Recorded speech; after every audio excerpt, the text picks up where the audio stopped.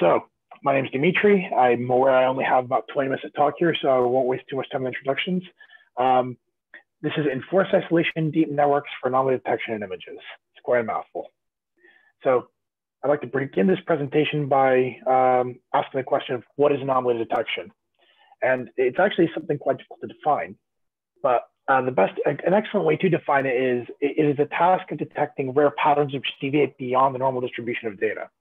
And when we say normal distribution, we don't mean it in the statistical sense. We mean what is considered to be normal. And in the visual example you'll have there, you see the green dots would represent norm, uh, normal samples, and the red dots would represent anomalies. Now, another part of the definition would be that it's important to note that anomalies are rare. So you should only have very few anomalies compared to normal samples. Otherwise, if you have plenty of anomalies, they would be considered normal and lastly, and this, this is uh, this is something that's also not necessarily part of the definition, but very important to consider, is that anomalies are often benchmarked by human intuition, as in uh, in many examples, for example, in the images there, um, you'll see that most of these images are seem mostly normal, except for the small spaces, small parts where you would have anomalies. And quite often, it's a human that would determine what is anomalous and what isn't even if there is something else that's a little off or different from what's normal, a human is what would ultimately decide, yeah, there's something wrong here. Now, there's a reason I'm mentioning these three parts of the definition because we're going to address most of these things, or not most, all three of these things at some point. But first, I'd also like to talk about some of the practical applications of having uh, a method or piece of software that can detect anomalies. And one that's very common and very popular would be uh, predicting anomalies within the stock market within time series if the finance industry was able to predict anomalies that occurred within the stock market that are relevant anomalies, they would know where to invest or maybe to stop investing in a particular industry. Um, there's also a lot of application in image anomaly detection for the very example I uh, demonstrated to the right, where if you have um, if you have fact, a factory production line and you have some products that might be uh, damaged or defected, you would like to remove them from that production line and getting a human to look at each item that goes by is very laborious for a very laborious and exhausting. But having a machine that can do it automatically and recognize any form of anomaly without defining what the anomaly is would be something that would save, uh, well, any factory a lot of money. And video anomaly detection could play a very valuable role at some point for the safety of the public because throughout all the CCTV, all the CCTV cameras you have around a city, there is only most of the most of the footage is normal, and we're only looking for a few precious seconds of an anomaly. And getting a human to sit there and watch several hours is not particularly helpful to find it. But if you had a piece of software that could detect this precious seconds and could watch it at all times, something that could detect an anomaly happens could alert the authorities and provide a quicker response time. So let's talk about some of the challenges in anomaly detection. Um, now, for the most part, I think one would assume that this is a supervised learning problem, even though it's not a popular approach, and I'm going to explain why. Because you would assume if you're if you have anomaly detection, you either want to detect whether it's normal or anomalous, and so therefore it's supervised. However, that's not necessarily the case. One of the reasons being we have heavily imbalanced data. And to demonstrate this as an example, let's say our normal samples are horses, and we have some anomalous samples of, say, cats and dogs if we were to put, oh, and let's say the split is 95 5%. So 95% of our data is normal samples and we have 5% to be anomalous, which is quite common what you'd, commonly what you'd find. If we were to put this through a classic classification model, you would expect that if the model were to predict every result to be normal, it would be correct 95% of the time. Because let's face it, no matter what you put in there, it's predicting it to be normal. But when you put something else in there that, say, isn't an anomaly, that is an anomaly. We don't want it to predict something that's normal. It's not about how frequently it's right, because what we're ultimately looking for are those 5% of anomalies. We need a model that can detect those rare patterns, regardless of how frequently it's right. Another issue is that there is no explicit definition of an anomaly. So let's say we actually did have a 50-50 data split and we did have a model that predicts normal and anomalous data. Um, when a model when the model receives something it's never seen before, it may just predict it to be normal when it's actually a human could tell you that is an anomaly. So this goes back to there is no explicit definition of an anomaly because we don't want to look for specific anomalies. We want an anomaly detection model to predict to detect any anomaly, whether we've explained to it what it might is or, or not. So a more popular approach is often the unsupervised learning approach. And I'm going to give you an overview of the, for lack of a better word, theory or context of how unsupervised learning approaches often work. And often they do, quite often you handle uh, anomaly detection and unsupervised learning approach with just normal training samples. So you would take your normal data and what you would attempt to do is assign, say, an anomaly score near the, well, for the entire vector space of your normal samples, where the idea in this two-dimensional space here is the darker the blue, the more normal it is, and the further away you get from that distribution, the more anomalous your uh, your samples become. And the way you would, and so once you have this normality score, the way you would test it is not with an accuracy. You would uh, actually use an area under curve, and I'm going to go into some detail explaining what that is and why that's useful. So during testing time, you would apply the ground truth of normal and, anom and anomalous samples that we have. And once you, once you can see over there, the anomalies are the red ones and the green ones are the normal samples that mostly overlap. And what you would do is for each of these anomaly scores, you would try different thresholds. And from these th different thresholds, that would allow you to get a false positive and true positive rate and ultimately an area under curve. So area under curve ultimately, ultimately measures is how how that how correct can this anomaly score be, this normality score be, uh, given different thresholds? And there will be an optimal threshold that you could choose. In this case, it would be this. And that's how you, that's how unsupervised learning normal uh, approaches tend to work. However, it works in classic machine learning. This works just fine, but in classic machine learning, um, but well, it's something a little more complicated than in classic machine learning, everything falls into a vector space, but there are more complicated examples where things do not fall into a normal vector space. Say, for example, image anomaly detection, where normal samples and anomalous samples can be quite convoluted, for lack of a better term. And when you were, if you were to view these in a two-dimensional space, you would quite often find anomalous samples, the blue samples, overlapping the normal samples, making it incredibly difficult to tell what's anomalous and what's normal. So we decided to ask ourselves, given only a small fraction of anomalous samples with respect to normal samples, could we design a model which distinctly maps anomalous samples far from normal samples? Um, and that's precisely what we attempted to do with AIDEN, well, with, the, with the model we came up with, the method we came up here. And the method I'd like to introduce to you is Enforced Isolation Deep Network, or AIDEN's methodology. So I'm going to begin with a bit of math just to get the basic definitions out of the way. We're going to define some data set D that's comprised of X and X hat, normal and anomalous samples respectively. And all the classic definitions apply where X and X hat share no elements. There are more normal samples than anomalous samples. And just to define it, let's say that X and X hat are in an RK space. Um, I can hear some noise in the background. If somebody can mute their microphone, I think that's Edwin. Um, I don't think Edwin can hear us. so let's next define the neural network F that we're going to design, which will map F from the RK space to an RL space where K is much larger than L. L is a lower dimensional space. The actual neural network we use is this one here, which takes in an image and reduces it to a two-dimensional space using dense layers. And the way we ended up tackling this by mapping normal samples to be near each other and anomalous samples to be far is by using an augmented form of the triplet loss function, where the idea is the anchor and positive values will be near each other and the anchor and negative values will be far apart. Now, this doesn't necessarily solve the challenge of unbalanced data, and this is something else we needed to address. So I'm going to take a step away from this part to discuss a, way that we decide to handle the imbalanced data. Uh, well, yeah, how do we solve the problem of imbalanced data? So the way we decided to tackle this was to look at our data sets and think of a way to best maximize the value of them.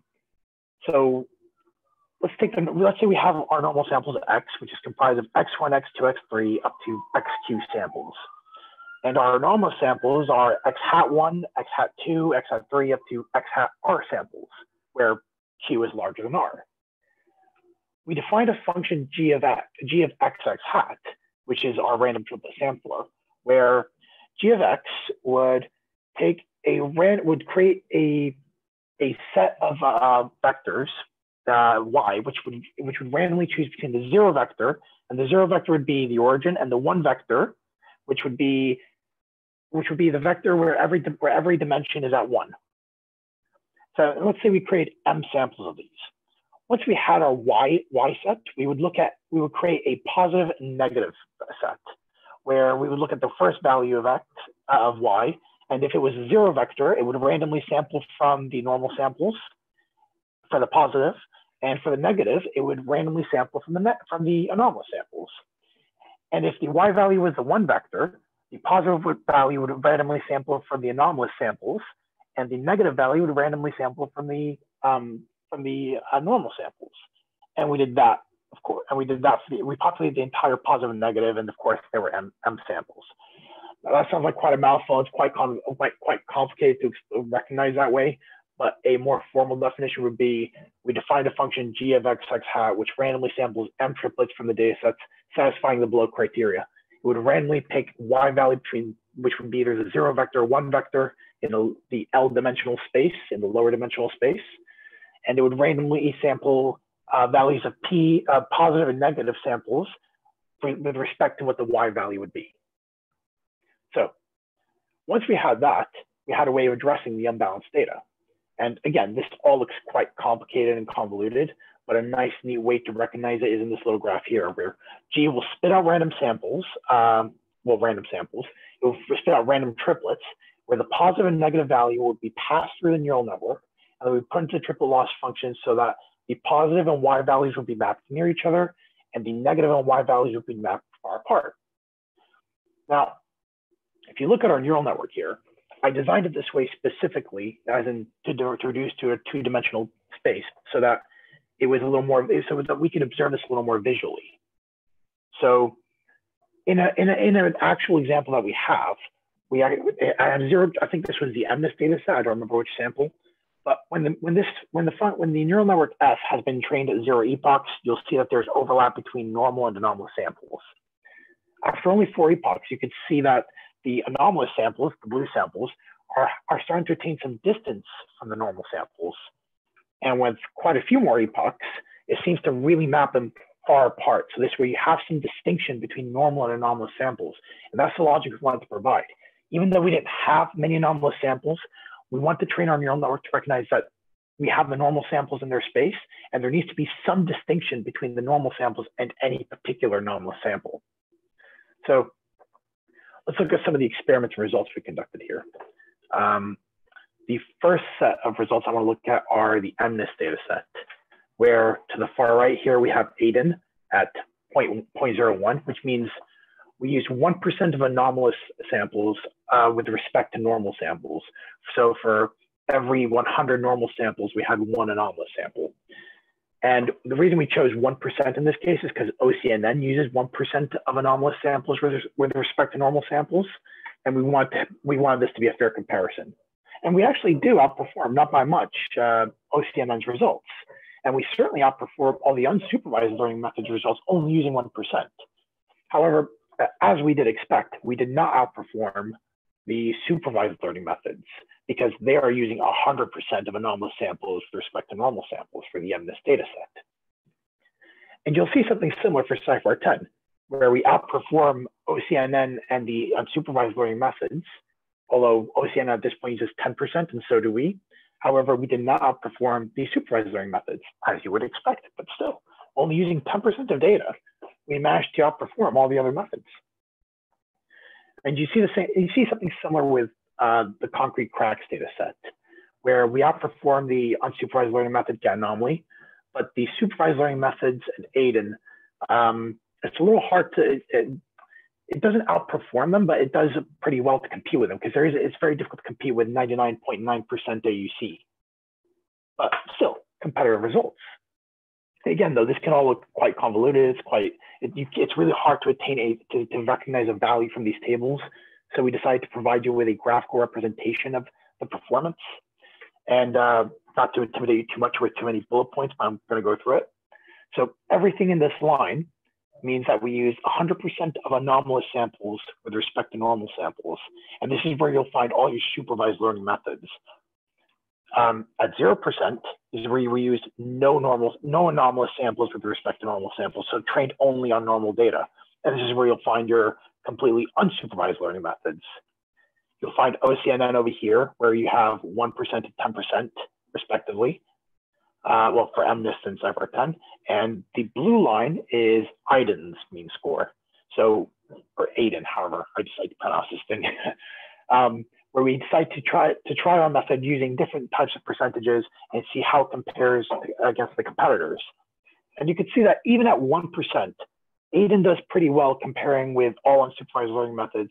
And as we marginally increase the number of anomalous samples, we can see that it even does pretty well against the supervised learning methods. Now, a question I, a point I addressed earlier in this presentation was, yes, um, we want to know how, yes, it does well against the competitors, even though, even with small samples of data, of anomalous data, but how does it fend against samples that I've never seen before? Because even though you have fewer samples in your testing, fewer samples, all, all the samples that are in your testing data also exist in your training data.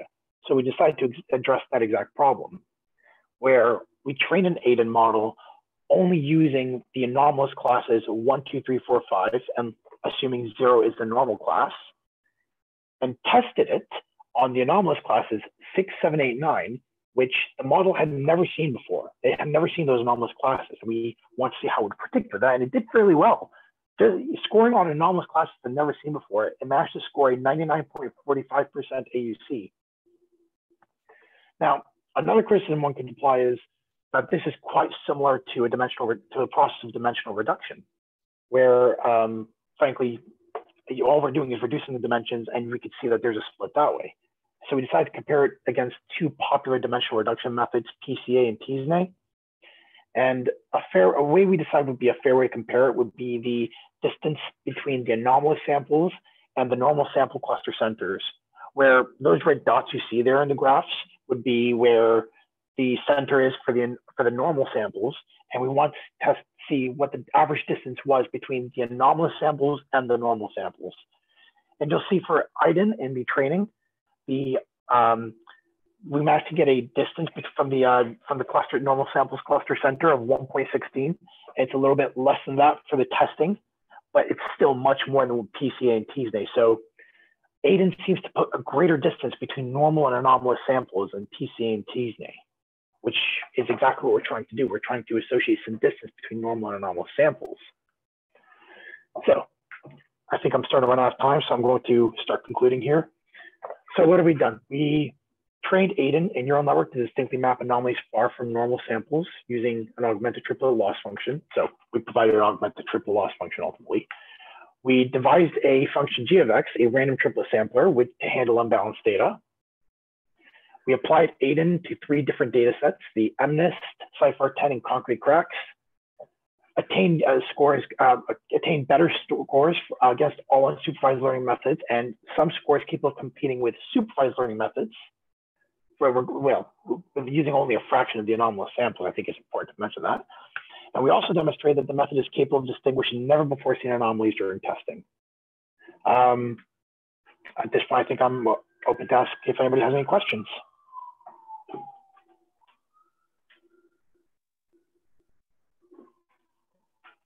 Am I audible? Yes. All right. Have some questions? Yes. I put the microphone in mute. Um, how do I see the questions? How do I actually see the questions here? There we go, chat. Uh, in the chat, it says uh, Sergio Velastin asking. Uh, in, ah, I see. In MNIST, what? Yeah, MNIST. What are my anomalous samples? So it's a one versus the rest approach. So we tried it for each one of them. So if the normal class was five, every other class would be considered anomalous. Zero to four and six to nine would be considered anomalous samples when five would be the normal class it was always a one versus the rest approach. And that's what we did for each of them. When you look at the graph, and then hold on, let me go back here for my slide. Uh, where's my mouse? I've lost my mouse. Da, da. So in the graph there, uh, at the bottom, uh, at the, at the, at the line there where you see the scores and a line, those are the mean scores. But if you look at the tables, if you go back to the tables, we actually have a score for each of the classifications. Does that answer the question? I think that Oh. Yes, it says. Right. Um, any other questions?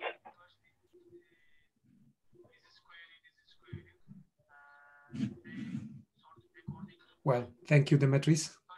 Thank uh, you.